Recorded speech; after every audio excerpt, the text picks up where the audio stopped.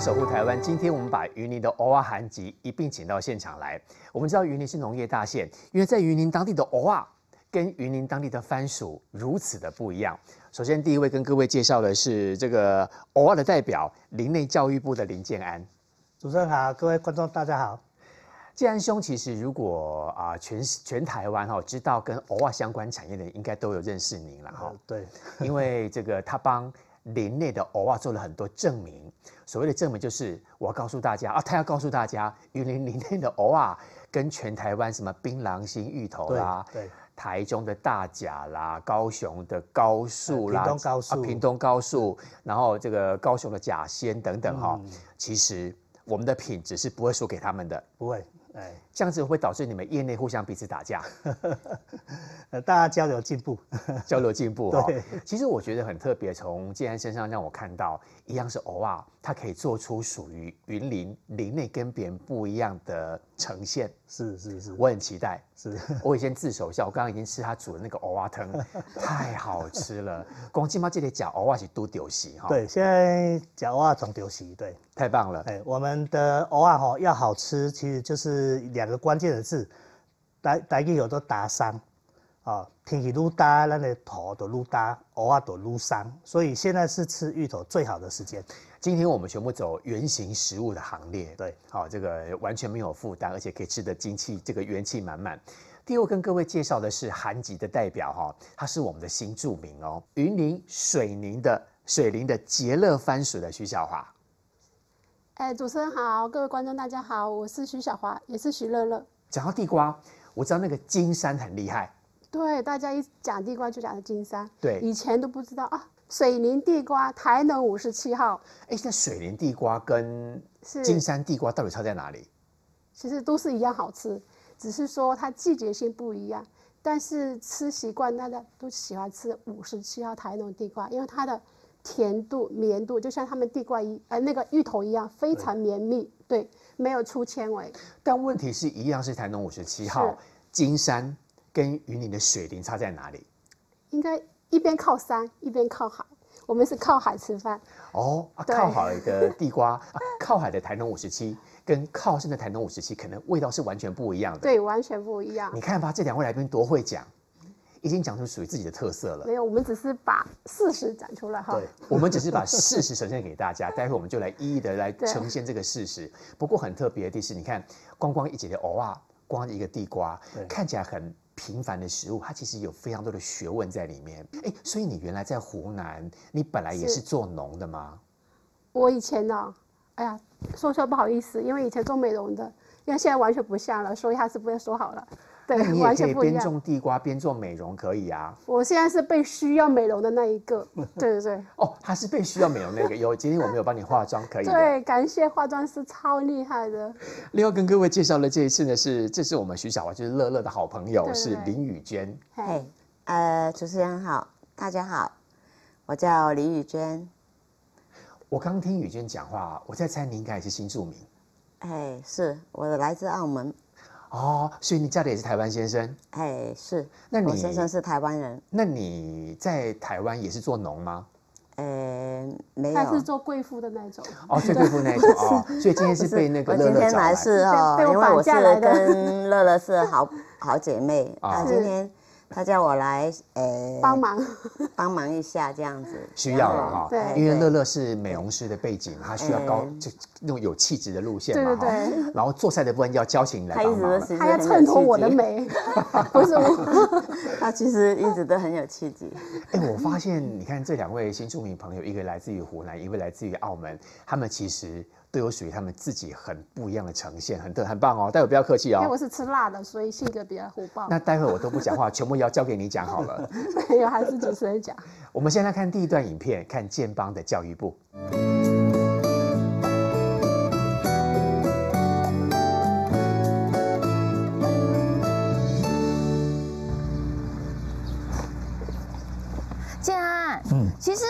这边呢，好像之前我比较没有听说过，说芋头是你们种植的重点，是这几年才开始特别着力于芋头的种植。对，我们的芋头其实大概种植的时间大概二十几年。哦，已经有二十几年了。有有有有，对。但是一开始种的时候呢，因为我们都是卖给盘商嘛，那整个市场上大家对芋头的需要都是停留在大甲芋的印象。是啊。所以呃，我们这边的芋头其实盘商来买都把我们称为叫大甲芋。所以我们吃到的大甲芋有可能是林内种的。对对。那大甲芋讲到大甲芋就不用多解释啦，全台湾都知道那个品质、那个口感、那个绵密的程度。大家都喜欢吃大甲芋，但是大甲芋不会全年都有。嗯。所以像进入夏天的时候，可能就是我们林内这边或者其他的产地。大甲芋那边比较是冬天才。对，那边比较冬天，年底的时候。所以，我们夏天有可能吃到冰品里面那个很绵密、很好吃的芋泥，其实是林内芋。对，就是我们林内芋头。哎，有点就是正宫回来证明的感觉。对对对，所以我们在呃一百零四年，我们透过水土保持局的协助，我们推动林内芋头证明，所以我们自己叫自己叫做林内芋。嗯，然后大甲冬天产的是大甲玉。对。但大甲玉当然品质也是很好，不过夏天的时候林内玉，其实我们还是要感恩林内这里的土地、这里的农民，对不对？也感谢我们浊水溪的灌溉，让我们可以有这么好的物产。又上了一课，原来是林内玉。是。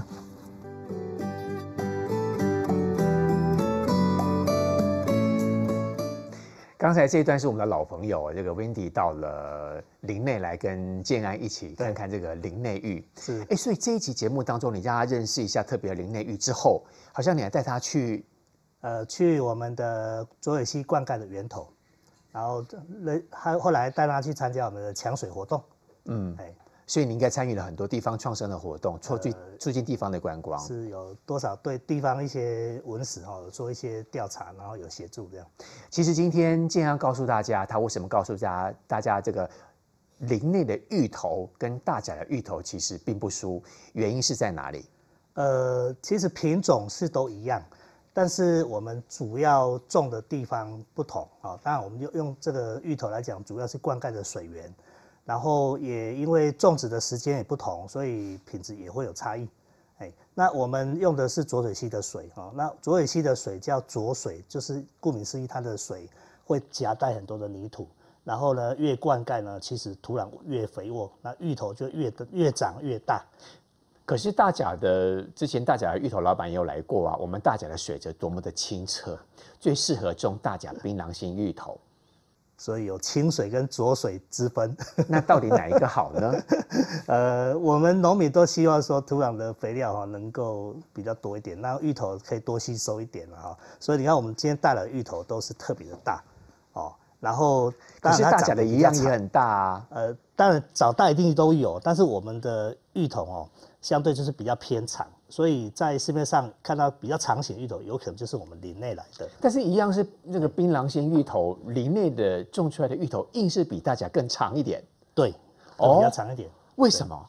呃，因为我们的浊水沉淀的黑土哦，让我们的土壤跟大甲沙子地比较不一样。哎，对，大甲是沙子地，对，而且大甲讲说它是沙子地之外呢，水质很清澈。对，那你说的林内的芋头是里面的土比较黏，然后因为浊水溪冲击的关系，里面的土比较柔，对水也比较柔，是哦，所以样子会不太一样，会不太一样。那口感呢？呃，口感上来讲，其实差不了多少，主要会造成我们品质会有差别是。还是在我们种植的时间点，哎，我们是属于在一年四季都在种植，而大甲是种冬天收的芋头。这个你完胜了，哎，因为大甲芋头冬天才有，呃，可是你一年四季都有。我们一年四季都有哈，这个由来是这样啦，因为大甲芋会挑在我们最干燥的季节做采收，所以它种植时间点大概会在农历春节之后，然后经过大概漫长九个月的生长。那其他时间点，比如说到夏天来讲，因为容易受到气候啊高温又潮湿的影响，那芋头品质相对就会比较呃不好吃，有时候会有一些呃渗水，现在就是煮不烂的问题。对对对对，这是因为季呃季节的关系。那意思就是说，只要是林内的芋头，全部都煮得烂。呃，林内芋头哈，因为我们产地相对比大家小很多。啊，所以我们就变成衍生出一套病，我们一年四季都在种芋头这件事情。嗯嗯。所以我们也有好吃的时候，那我们也有种到夏天啊，呃，不好管理的时候，不能讲难吃啊，不好管理，比较没有冬天那么好吃的时候，所以它还是我那种软天偶尔还是会稍微有点 Q Q 的状态。会，但是就是损耗比较多。它容易烂掉哦，你好老实哦。呃，我们农民农民上来就是必须讲实话。他好老实，他没有说我要完全 PK 掉大甲的芋头，他只是告诉大家我到底跟大甲差别在哪里。对对。而且我的优势会在哪里？对。但是我觉得你还有一个输了啊，哪一个价钱比大甲我们的我们的价钱哦，就是因为我们毕竟不是大甲产地，然后过去都是养在盘商的时代哈，盘商都会告诉我们说。大甲，比如说收购价多少钱啊？你们一定是不能高过它，哦，所以一定是甚至特别压你们的价钱。对，会有一个大甲价格的天花板。嗯，那我们就会比较吃亏了哈。但是装上袋子之后啊，就全部都变成大甲玉。哦，所以我看到今天竟然拿了另外一个袋子来。对，你要不要秀给大家？我们今天我们做了这个有写的林内玉。对。啊，这个林内玉，这个是今天我觉得，身为不是农民的我非常骄傲的一件事，为我自己的家乡告诉大家，问到偶尔嘛，其其其实我不是林内人呐，哈，可是我觉得我跟建安一样，我与有荣焉。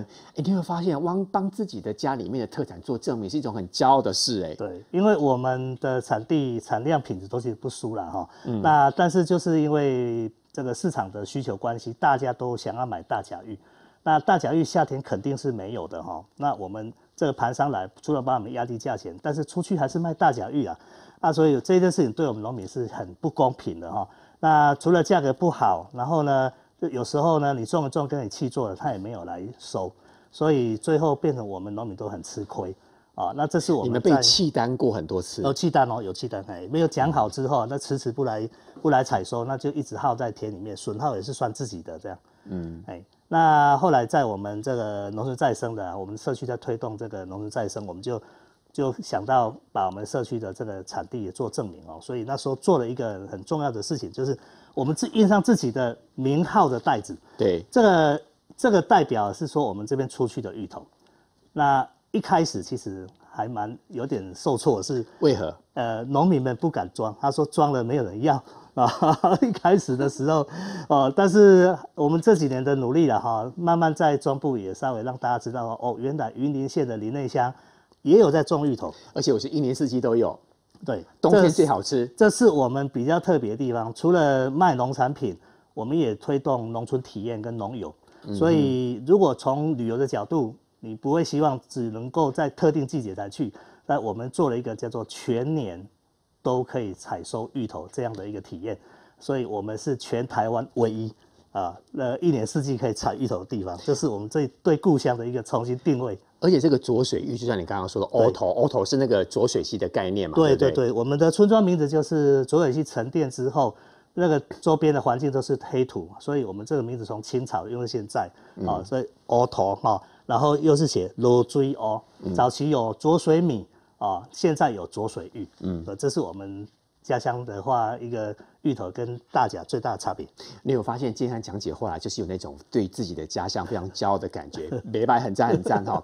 你稍微休休息一下，但要请金山告诉大家，讲偶尔哈讲讲嘞，可能你下一时阵气味焦啦，甚至有人说什么嘴巴会麻，对，待会你要告告诉大家原因在哪里哈。好，我要来请这两位非常美丽的这个新住民朋友哦。其实，谢谢你们两位的认真，让台湾的台农五十七号在水林这个地方呈现出不一样的这个感觉哈。一样，我们先来看影片。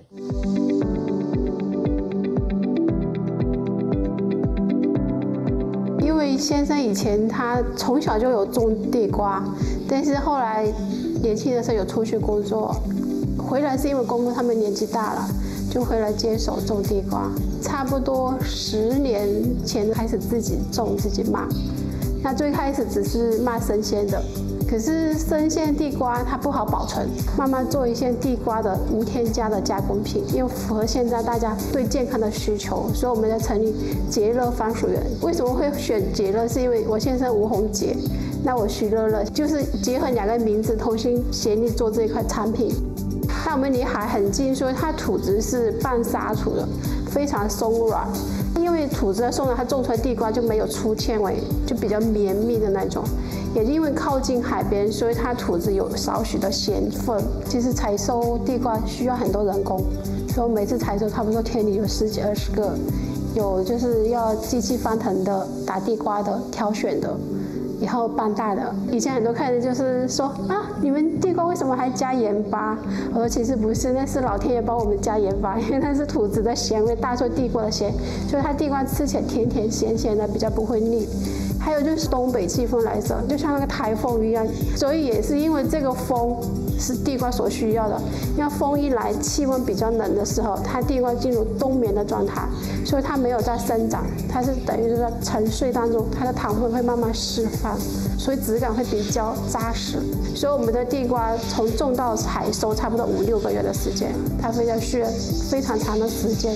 才有办法达到这么好的品质。我们是用蔬菜肥料，隔一年会用鸡粪肥。鸡粪肥它的成本会比较高，但是它的肥料的养分会比较好，对土壤也好，对地瓜的生长也好，有很大的帮助。刚才影片当中，我们看到的是因为喜欢台农五十七号地瓜而特别嫁来台湾的。乐乐，徐小华，他的乳名叫乐乐啦，哈。对。他说他以前在湖南是做美容的，来到这边呢是被需要美容，但是呢他想把我们台湾的台农五十七号的地瓜美容给大家看。哎，其实我问的很直觉哈。是。台农五十七号在台湾到处都有，对吧？对。那我刚刚特别举金山，嘿，其实包括你们云林旁边的什么嘉义啊，或者是像彰化很多地方都在种。应该说地瓜全台都在种。而且台农五十七是最好的品种。对。因为每个地方它有它特色不一样，所以刚刚我说的是靠山吃山，靠海吃海，就是因为我们靠近海边，所以它的主持人可以看一下，它皮非常薄，像杯笔一样。一整串呢，哇，这个谢谢你哦，不然我也没有办法夏天去采哎哈。你知道为什么会带这个来吗？因为很多客人第一次去了田里，他说，哎。地瓜是长在地里哦，不是像西瓜一样长在土里吗？地里就是土里，不是吗？可是我们是长在地里面，地底下。哦，对对对，那个西瓜是冒出来的。哦。我说啊，如果长在那个土里面也好，我们可以看它什么时候长大，什么怎怎样，我可以知道。可是种地瓜不一样，我每一次采收地瓜就好像开奖一样，不知道这一块收成怎样啊，或者是是不是被虫咬了？因为地瓜最怕就是虫害。对，所以我们的地瓜为什么只种冬季？就是因为它冬季的虫害比较少，就像高丽菜一样，为什么冬天的特别好吃？它需要温度。嗯，那我们也是，就是因为它的温度，再加上我们地理环境，这个我们地呃那个土质是有分黑土和沙土，这个是半沙土的。这一样在你们水林。对，也是在我们水泥代沟的。它半沙土，它种出来的话，它颜色会比较黄。如果是稍微黑土一点，它颜色会比较深一点。对对，那黑土它口质，哎，口感会比较紧实一点，沙土会比较绵密一点。哎，我发现我们刚这样摸哈，嗯，你这个地瓜就是皮薄馅多那个概念。所以我都很小心呵护，比皮好薄，比我小孩还认真对付它，好吗？比一般人的皮肤更薄。对，所以那是因为你们水林的地瓜才会皮这么薄，是哎，其实也不是我说的，很多客人反映就说啊，你们那边地瓜皮特别的薄，对，所以我们烤地瓜连皮都可以吃，就不会有感觉说粗粗的感觉。哦，所以你刚刚说水灵的地瓜除了皮薄之外，里面的那个纤维更细，没什么粗纤维，没看到什么丝。很多客人是买地瓜，他被看到什么丝之类的，可是我们这个没有看到。那个纤维丝，对，纤维丝，这个是没有的嘛，哈，对。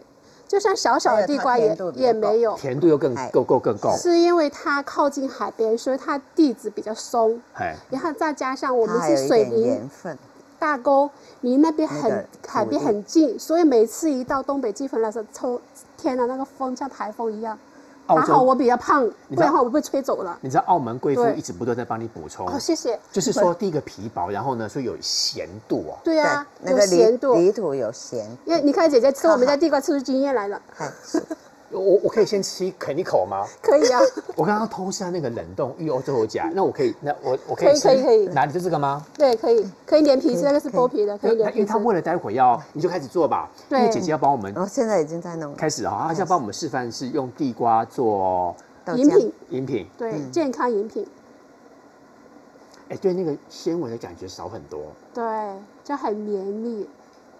而且我们是靠近海边，所以它土质带有咸咸度，所以它吃起来甜甜咸咸的。有，哎，对，它的咸度比一般的五十七更强，可是没有强很多，就多一点点的感觉。所以女生吃了不用担心什么，不用担心啊，不小心我放屁了怎么办？如果去约会的时候啊，不小心等一下我要跑厕所。等一下，这个没有这个盐度比较高的地瓜吃一吃不会放屁。就像我们吃玉米一样，是不是要撒一点盐巴？哦，不会胀气，哦，好消化不会胀气，哦，肠胃就不会胀胀的。原来它的地瓜，对，我云林水林的地瓜，标榜是吃了不会放屁。对，然后帮助你排便。因为土质不一样。真的假的啦？真的，一个屁都不会放吗？就像我昨天，我会想我太过分。我昨天晚上吃的喝肚子不太舒服，是，所以我哪怕是肚子不舒服，我心情底下吃这个地瓜都不会放屁，对，只会通便顺畅而已。好了，我们不要再讲了。如果你在 吃，你吃不下了。如果你们看电视的观众朋友来吃饭的话，真不好意思，抱歉了哈。不过想呈现的的确，它的皮很薄，而且它的味道很香，它真的有咸度在里面，其实微微的。对，其实地瓜它不只是好吃，它真的很营养。为什么？像我们家。真咖收杂，小朋友不会说啊，煮很多补品给他。我们家从两个小孩从六个月开始，我就是用地瓜煮汤，嗯，就是单纯串枪加水去煮，嗯。可是，所以我们家小孩从来没有这回事，什么不顺畅呐。而且可能是吃地瓜的关系，我们家小孩都很高，我们家十二呃十四十四岁的小孩男生，现在一百八十公分。我女儿一百，呃，十二岁，像一百六十五公分。其实我相信吃这些根茎类的食物，对对我跟地瓜一样，它那个人的元气会很够，对，就那个精气神会很强哦。是，哎，我都忘了跟你们聊天，聊到忘了。我们今天要请大家把影片留言加分享，我都忘记了，请大家把影片留言加分享，然后送那个送那个偶尔有礼物哦，或者是那个地瓜，对，那个偶尔是今天他们家的特别的偶尔，待会来吃吃，透过这个证明过后的灵验的芋头。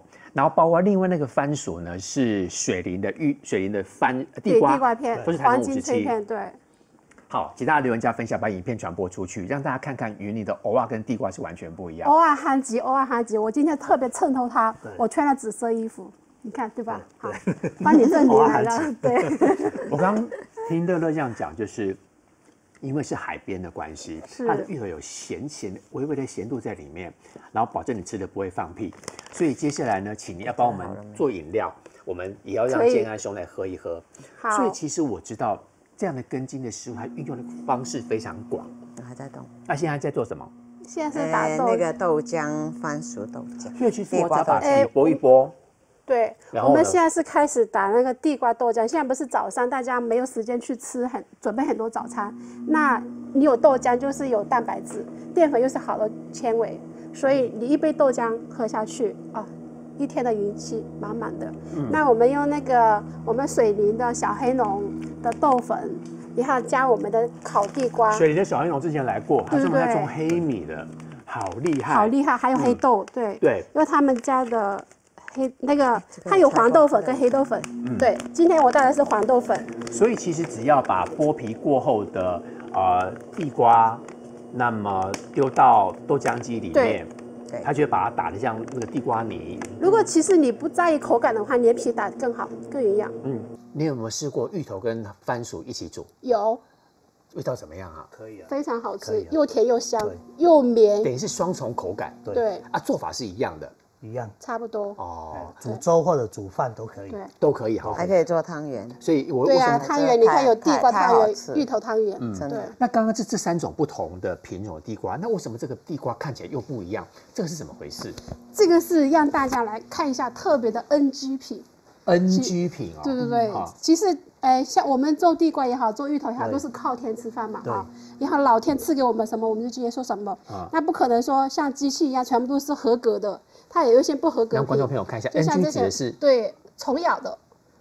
哦，就像这样一颗一颗黑色。这个是有黑点的，还有一点就是臭黑，就是小小的。主持人，你看这个非常小，人家看不出来的话，就是啊，我们去买地瓜多多少少都会有这个问题。对它这种话吃起来就会有一点臭香的味，就是那个。苦苦的味道啊，对，但是只有那个点而已啦。对你把那个点消掉就比较好。哦，所以一般你们会建议在吃地瓜的时候，应该洗干净之后把这个黑色的挖掉，像这个都把它挖掉。其实也不是每个黑色点都是有那个抽象糖，都是大的。当然，因为是我们专业的看看得出来了。我们看不出来，我们就是把皮吃出来才知道。那你就用刀子削一削，看它的。我我的做法就是丢下去蒸完之后拉起来，再慢慢把它剥开就可以了。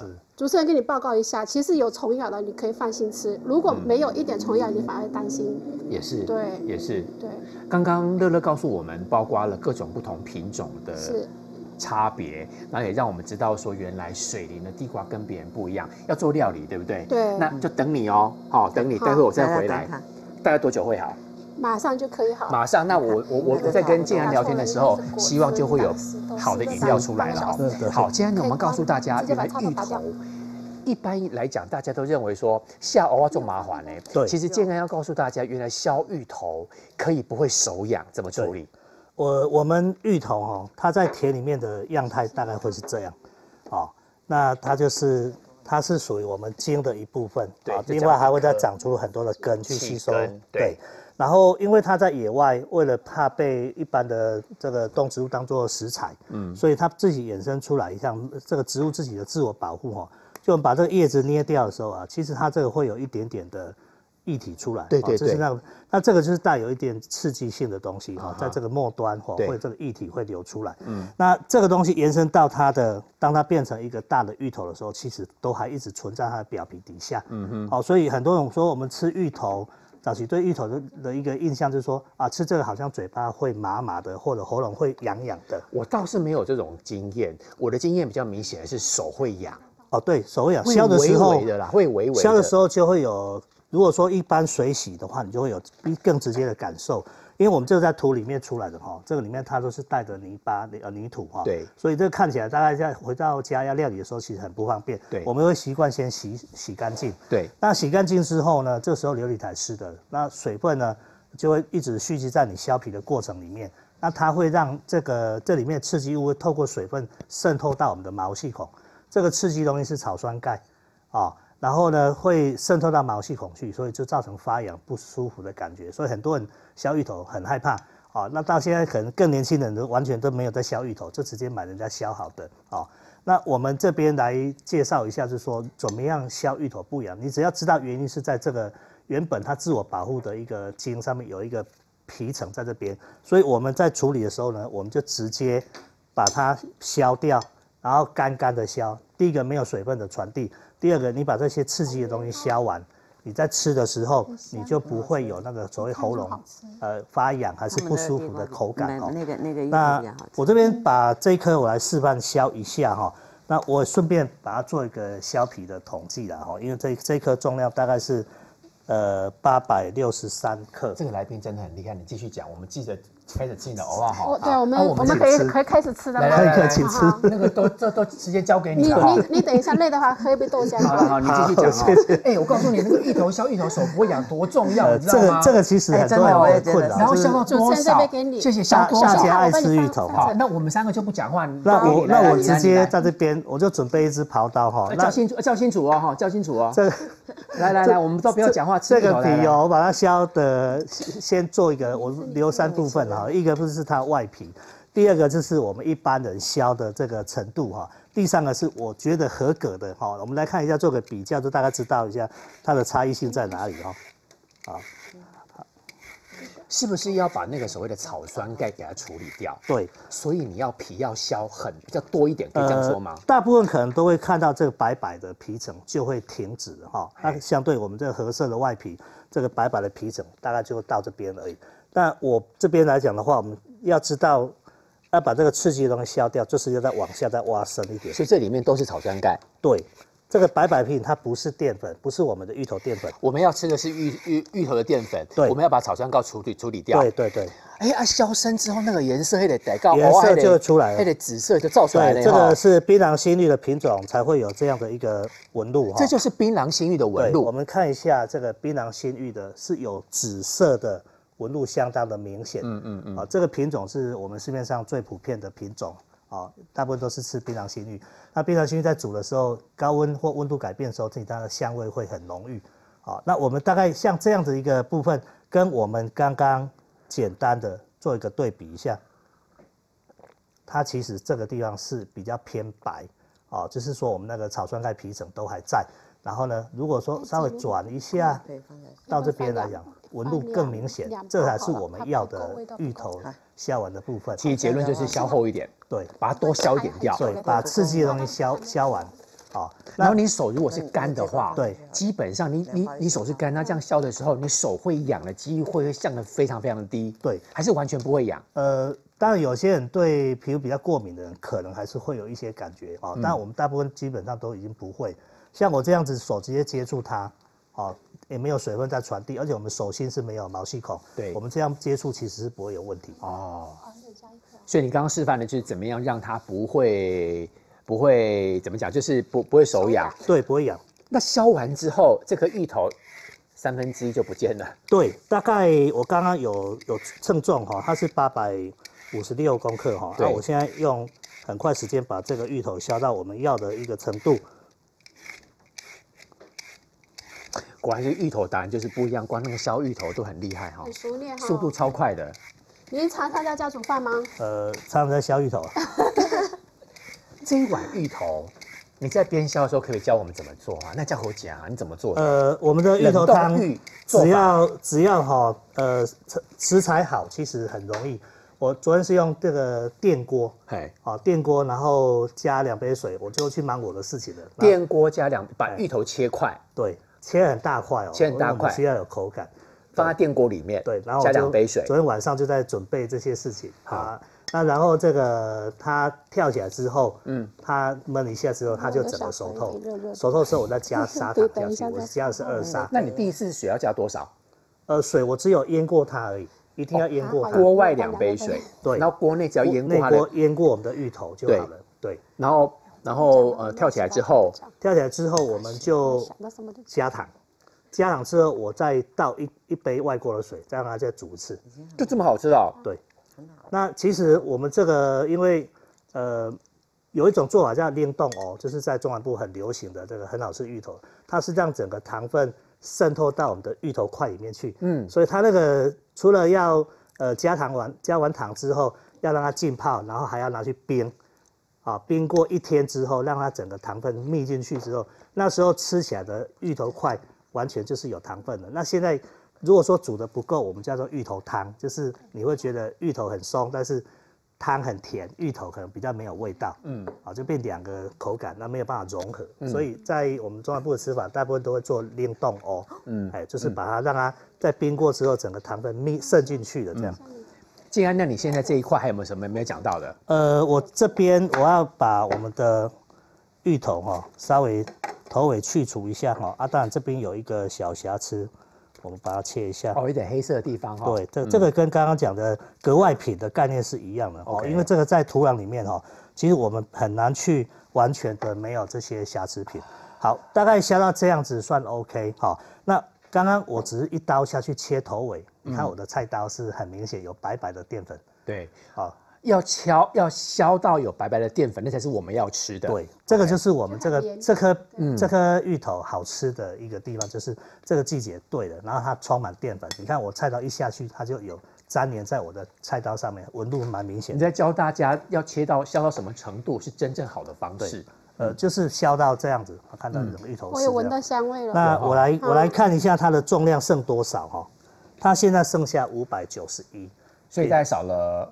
从刚刚是八百八百六十四，然后它五百九十一，差不多讲少了大概三分之一，嗯，它三分之一哦，因为五百九快六百了嘛，那刚刚八百六十几，差不多接近九百，所以我们大概可以说少了三分之一。所以我们的一般一颗芋头，其实它的损耗其实蛮多的，嗯。哦，那我们现在大概都是比较讲究品质啦，所以我们觉得宁可多削一点，哦，那也不会有这个不好的口感。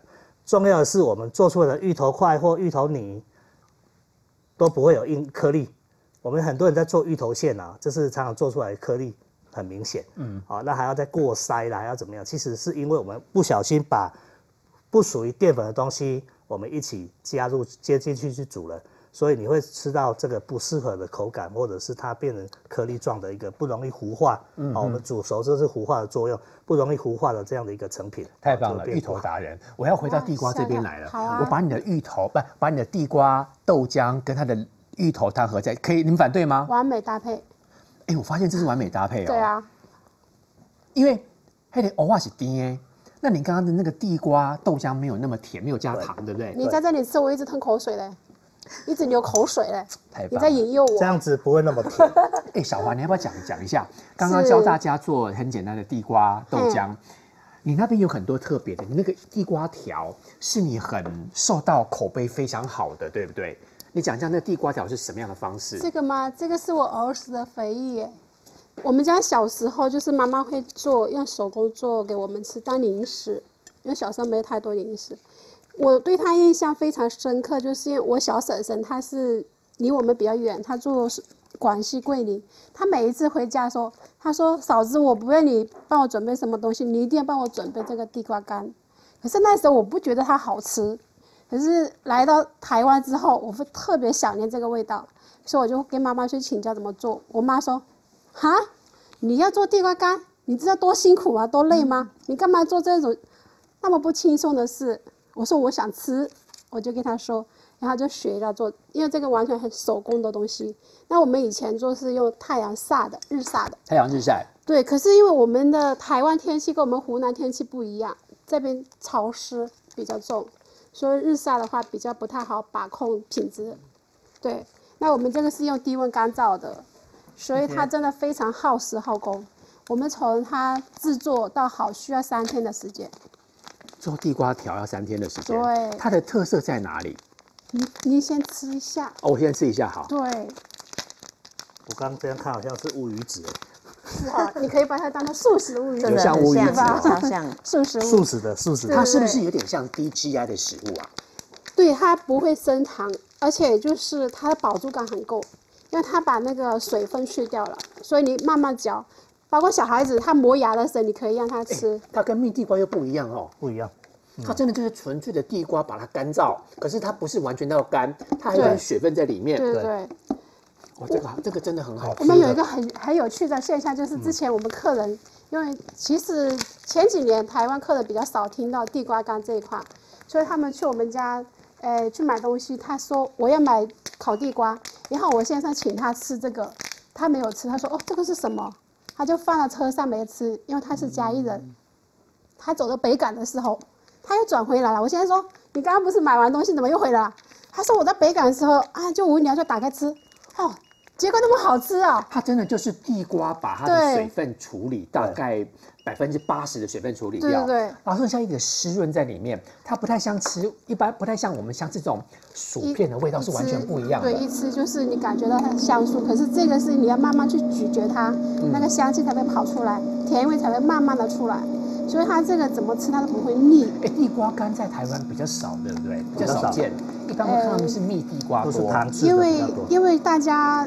头脑比较聪明，不做不做这种辛苦活。啊，我头脑比较笨，所以只能做这种。其实这个比较笨就对了。哎呀，对对。但是也就是因为他笨的关系，他走是传统的方式，比较搞刚啦，比较费工。他古早味了。但其实喜欢的人会喜欢吃地瓜干哦，会比吃那个 cream chips 那个薯片来的更不一样的感觉。不会腻。不会腻，它不会放屁。它比较。不会腻，真的。对，不会放屁。真的不会放屁，但是身体会很健康啊。没有了，放屁现在代表身体健康啊。对啊对啊，是是是。我的意思是说，身体很健康，是因为现在很多健身的，他们讲求低碳啊饮食，所以他这个是属于低碳饮食。他因为他升糖很低，然后他非常有饱足感。他们运动完之后，他吃一两条，他觉得哦，感觉那个元气又来了。因为其实根茎类的食物本来就有那种对对对补元气的概念，对是。所以他就吃起，哎，他就而且越吃越刷嘴。曾经有一个客人 连续坐在那里看电视，一个晚上吃掉一包，把我都吓一跳。我说你不能吃那么多，毕竟它是淀粉啊，它还是会胖啊，还是有啊。他说他说这个又不甜，它不会胖啊。他就跟我这样讲，对。可是其实再好的食物，我觉得还是适量的，对啊。所以姐姐在帮我们做另外一个啊，我们现在是做那个地瓜咖啡，所以一样是把你冷冻的地瓜把它打成泥，对，然后再把咖啡。咖啡，哎，我们是今天是用的冲泡式的咖啡，而且我们都是用我们台湾炸地的好咖啡，这个也是来自我们云林的台湾猕猴咖啡。对，云林古坑古坑的咖啡是我朋友家的，对，它非常香。都是都是你们在地的好朋友了。对对对，然后这个就是你用开水冲泡它之后，然后加入我们的地瓜一起去打就可以了。对你早上想要喝咖啡的时候就可以喝到地瓜咖啡。小华，那你今天除了包括你很特别的地瓜干，那薯片大家都就大家很很很认识啦，很认识。但是薯片还是有一些不一样，薯片跟薯片的不一样。主持人请吃一块。今天我们一起吃。看对。口感不一样。你们的地瓜都比别人咸一点呢。还有就是我们的地瓜比较淡一点，因为我们是走圆形的，也好清淡健康的路线。哎，对哦。对，还有一点就是它不会有油耗味，它比较没什么油油脂。哎，的确，它的油用的比较，我我的感觉是它的油用比较好一点，所以没有油耗味。对。没有油耗味，稍微有点咸度。甜地瓜自然的咸味，对，然后甜度也没有一般我们吃的那种地瓜那么的甜，微甜，符合现在的人健健康要求。这个薯片是好吃的，是，所以我薯片比一般的薯片好吃。所以大家说啊，地瓜片不是是一样吗？我说你吃一下就知道一是不是一样的。对，还有好东西要我们自己去品尝。而且有很多时候薯片上面会上一层糖霜，你没有？没有，没有。对可能是因为我本身不爱吃糖。曾曾经有一个老师说：“为什么你做的东西都是你自己喜欢的东西？”我可是我想说，我如果我自己不喜欢，我不想去推它。嗯，对，因为大家都知道，尤其是做妈妈的，我不不喜欢小孩子吃太多有的没的添加物。嗯，那我们喜欢他吃的健康又吃的放心。对，那所以我们这些我才会研发这一系列的产品。你们好厉害，全部走纯天然的。对，所以谢谢你愿意来帮台湾很多五十七号推广。所以。谢谢你愿意嫁来台湾，所以我小孩都说：“妈妈，你今天是怂够啦，怂够烂。”还台语不好，不好意思哈。对啊，就是还有这个很普遍的，这个很脸很丑，地瓜叶馒头。对，地瓜叶馒头，因为它我地瓜叶这次烫的比较久，所以它颜色比较深。主持人，我放那边给你。谢谢。哎，地瓜叶馒头，它纯粹就是把地瓜叶跟……哎，其实其实我。平时会加那个我们麦寮的那个月光下的麦粉，慧婵姐他们家麦粉啊，对对对，他们麦粉去做。如果因为这个比较健康，然后就是大家都知道，现在有很多什么全麦麦全麦麦粉啊、面包之类的，什么老面做的那种。对对对对，所以它口感会比较好。如果你不太喜欢这个口感，你可以加一点点面粉，中筋面粉。哎，原来地瓜叶馒头吃起来这个味道，它地瓜叶香香的，不会苦。我懂了，你的地瓜叶一定只有取叶子而已，只取叶，对，它只要叶子，很嫩的叶子，那个茎不行，你茎进去纤维会很多，而且味道口感没那么好，取叶子就可以了。对对对，把叶子取起来，打成汁，或面粉做馒头就对了。想要饱足感，想要瘦身的，多吃这个地瓜叶馒头，因为地瓜叶也也称为长寿之菜。它虽然很丑，可是很香。对，就像我一样，虽然很丑，但是我很善良。你很漂亮，你不丑啊？啊，是吗？谢谢。我常常被我小孩说：“妈妈怎么那么丑？我怎么会有那么丑的妈妈？”我说：“没办法，老天选择的。”其实你妈是漂亮，而且她非常的自然，很有自信。谢谢。太谢谢乐乐了。我们再回到这个静安那边，静安我们还有很多。你自己本身除了帮我们的。里面的芋头证明之外啊，对，你自己也开了，包括这个一定大家都知道嘛，你的那个蛋糕，对，你的铜锣烧，好，哎，那你一般推石农教育或推地方在创生的时候，除了让大家下到田里面去挖地头芋头，还有呢？呃，我们也会透过那个手做的课程，就是把它从产地到餐桌，从泥巴 到嘴巴，把它把这变成一个食物哈。所以像刚刚的。呃，主播，你吃的那个蜜芋头，我们在场域里面，我们有在卖这样的芋头冰，然后呢，芋头冰，对，就是把它蜜芋头之后加上串冰，对，藕冰。哎，我发现你的芋头条、芋头饼干也没有油耗味，哎，没有，你们的也是都少，它都很少油的，然后大家都进步了哈，对，那个油耗味都少很多掉了，对对对，现在油耗味被打枪，对不对？呃，对。哎，一般消费者不喜欢吃油不想，吃一口就不想再吃了。所以消费者的 嘴巴是刁的，所以导致你们在做食物的时候会越做越好。是，对，对。然后我们那个芋头条，其实它是只有也是调调一点点的咸咸的味道而已，也没有说很重的口味哈。请继续。然后呃，我们有一个米蛋糕，就是在那个蛋糕卷这个部分，都你自己做的吗？对，是我做的。那这个是蛮特别，我是用我们自己在地的浊水米，跟我们自己的林内玉，就两个在地主要的农产品，嗯，我们把它结合起来。所以，呃，虽然是蛋糕卷是很普通的一个糕点哈，对，但它是我们两个在地主要农产的代表。然后我们的米，对我们是全米，所以我们是没有小麦，哦，没有小麦，哦哦，因为我们过去本身就产米区嘛。那其实我们现在国人吃米的这个食用量哈，逐年在下降。哦，现在一个人一年吃不到四四十二公斤了。哦，所以说越来越少，大概是面食类的为主。啊所以芋头、芋头跟西瓜。所以我们自己在种，原本在种水稻稻田，包括我们自己芋头田也会轮作。所以，我们这些稻米的产量哈，或者是这个这个产量不不太有减，但是价钱一直拉不起来。那我们怎么样把它利用这个呃，把它做成加工品来孵化我们的地方产业？所以那时候就想到做这个事情，嗯，哎，就是两个结合在地最主要的农产品玉呃浊水米跟林内玉。哎，我真的建议有很多时候我们常常吃所谓很多有名的芋芋头奶冻，嗯，奶冻卷。对，他应该要来跟他拿芋头才是对的。对啊，因为你我们知道一些奶冻卷的里面的芋头没有它的芋头好吃哎，就是甜味没有香气。为什么会这样？